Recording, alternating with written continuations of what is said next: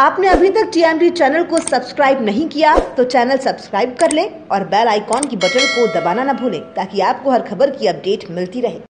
नमस्कार, आप देख रहे हैं टीएमटी न्यूज़ और मैं हूँ आपके साथ छवि। महेश्वर तहसील के शासकीय महाविद्यालय मंडलेश्वर के गांधीनगर गाँव के किसान और आम जनता कॉलेज के बीच ज़मीन में से कई सालों से निकल रहे हैं, परंतु अब कॉलेज की बाउंड्री वॉल का निर्माण होने से किसानों और कॉलेज के छात्रों को कभी कभी परेशानी होती थी।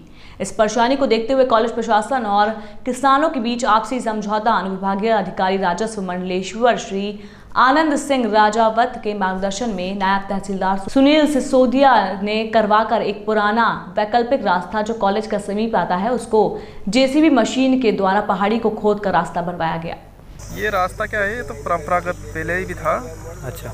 और यहाँ क्या ये चढ़ा उबड़ खाबड़ रास्ता था तो इसको समतल करके दे रही हैं। गांधीनगर के लगभग 25 किसान हैं, जो पहले कॉलेज के बीचों बीच से निकल के जाते थे तो कॉलेज की बाउंड्री वाल बनने के कारण इनका आवागमन बंद हो जाएगा। इसलिए ये रास्ता पुराना है, इसको भी समतल करके दे रहे